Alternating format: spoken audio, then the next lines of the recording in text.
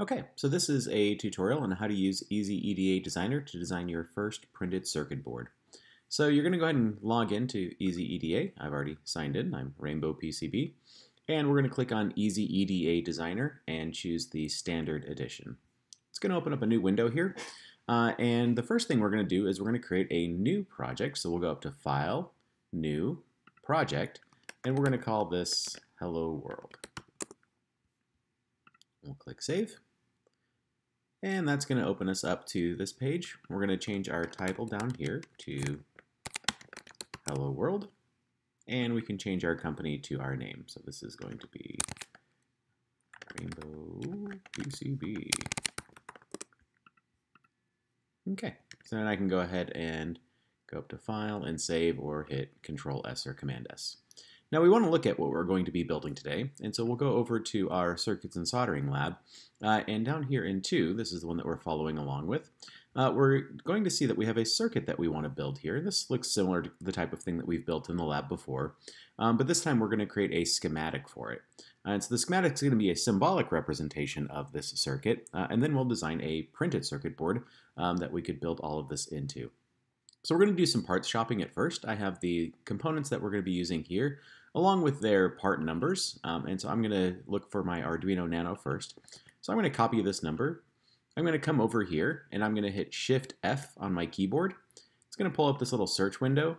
Up here in keywords, I can paste that number. And here where it says LCSC, you can see it found one part number. I can click this, hit the place button, click once with my mouse, move away, and then hit escape. And now I've got a little Arduino symbol here that I can hook things up to. Okay, let's keep finding some of our other parts. Here's a red LED. I'll copy its number. Hit Shift F. Paste it here into this window. And find a little LED. Click Place. I'll drop it right here, move away, hit Escape. Let's find our push button. Same thing, Shift F, paste, and search. Here it is. We'll it. Okay, move away, hit escape. 10K resistor. Same thing.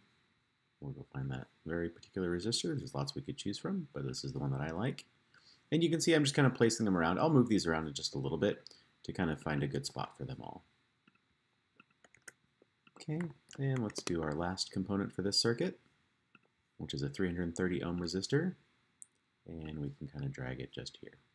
Okay, so I'm going to take an opportunity to save that little star means that I haven't saved in a little while.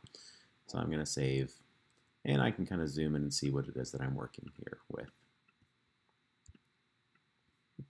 All right, so now we need to kind of figure out how all these components are going to get hooked up. Uh, and so we can look over here, uh, and we can begin to see some connections that need to get made. So I'm going to start with my little push button right here. Uh, and I see that one pin of it is hooked up over to 5 volts. And so I'm going to model that here uh, on my schematic.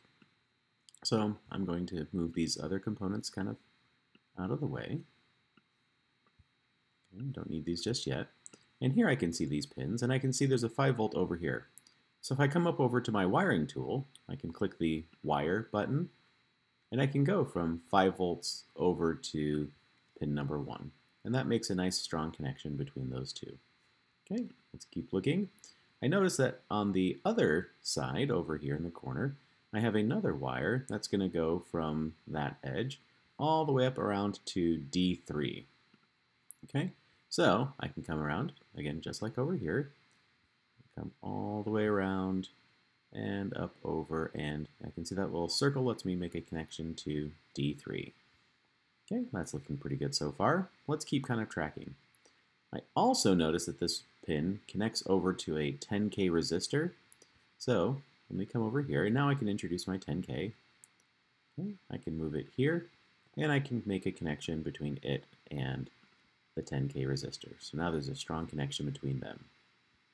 If I come over to the other side of that 10K resistor, I notice if I come down, there's a black wire that's coming on over and it's connecting to the ground of the Arduino. So let's make that happen. Okay, I've got a couple different grounds that I could choose from.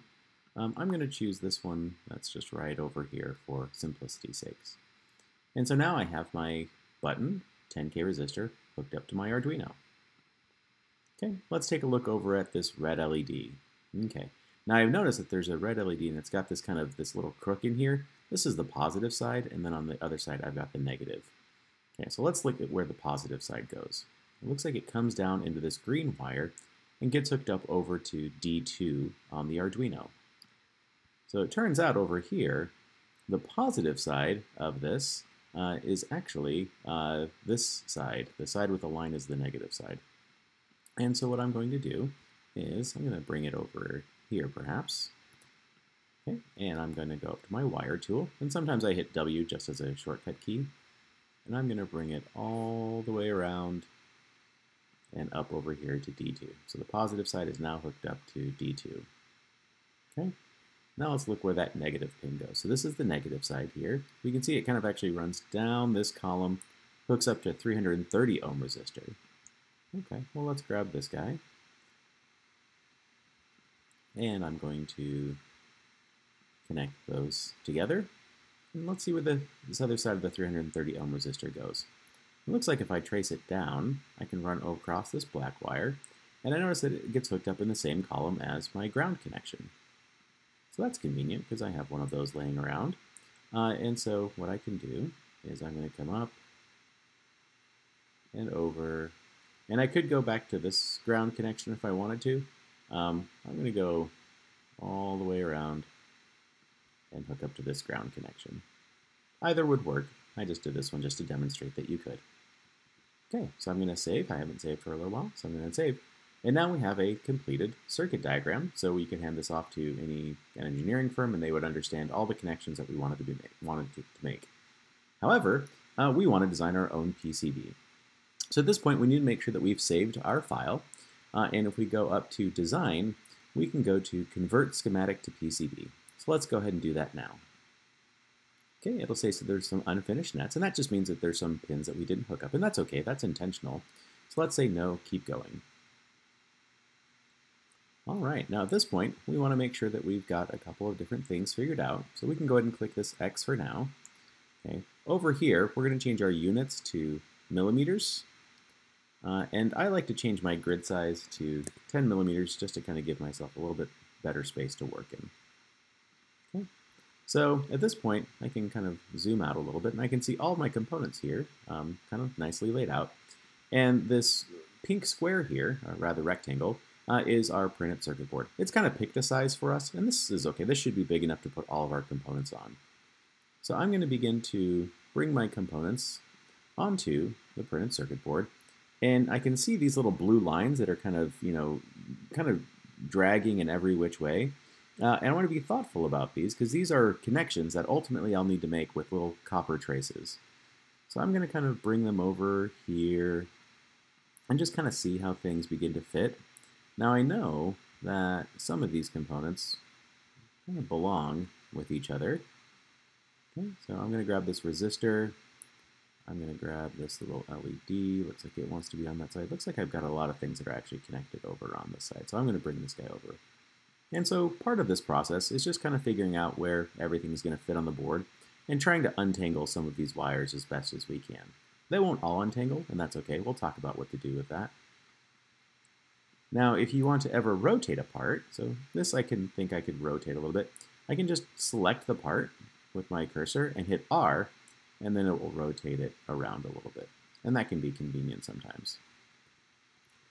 So maybe I kind of bring things around like this. Okay, I can see these wires are kind of crossed here, so I'm going to rotate my LED. Okay, there we go. It looks like I've got some parts kind of roughly laid out where I want them to be. Again, still a couple things that are crossed over, but I'll show you how to work around that in just a moment. At this point then, we want to start making some permanent connections. These blue lines are just temporary guidelines that help us kind of see where things need to be connected, but they're not really connected on our circuit board just yet. To do that, we're going to come up here to our little track tool, so, and we'll begin to make little connections here. So I saw a blue wire going from there to there. So now I'm going to turn that into a real wire by clicking on this one and bringing it all over here. Okay, I notice here that also I can kind of come over here. Now at some point you can see it won't let me run through certain parts of the board, uh, and that's kind of keeping me from making a mistake. And so if you find that it's not letting you make a connection, there's a good chance you're trying to run through a part of the board that you're not allowed to. Okay, so I've made a connection over there.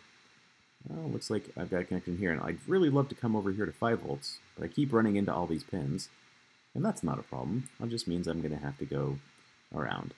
Now I do like to try to avoid 90 degree angles. It's just a good design feature.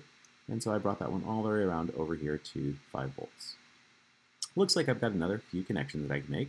I can make this connection over with my LED here, and here, and it looks like I can make one here. And you'll notice here that I've got this one last resistor that I'd really love to bring over, it looks like it's running into lots of things. It's running into this wire here, um, and I could go all the way around if I wanted to, but I'm going to hit escape and show you guys a really cool trick. It turns out that we can put these wires not just on the top of the board like we have been doing, but if I come over here and I click on the bottom layer and I hit my wire tool, um, it turns out I can work on the bottom side of the board as well. And so I can actually kind of shortcut my way across some of these wires that I wouldn't have been able to pass otherwise. Okay, and so there we go. There's our nice little printed circuit board. Um, and I'm going to top it off. I'm going to hit this little text tool. Uh, I'm going to go to the top silk layer. So this is ink that would be printed on top. And I'm going to put the name of my board on here. Hello World. Okay. So now at this point, there's one more thing I want to see. Now I want to see my circuit in three dimensions. So I'm going to hit this little 3D button.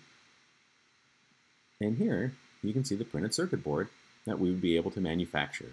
And this is pretty cool. So what we're going to do, we would take a screenshot here of this view, a screenshot of this view, and a screenshot of this view, and we would save that and submit it as part of our documentation.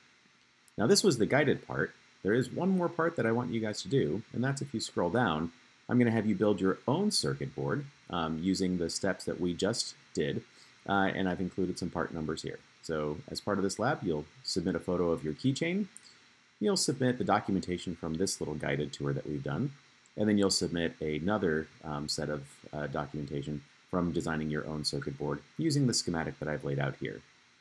And that's it.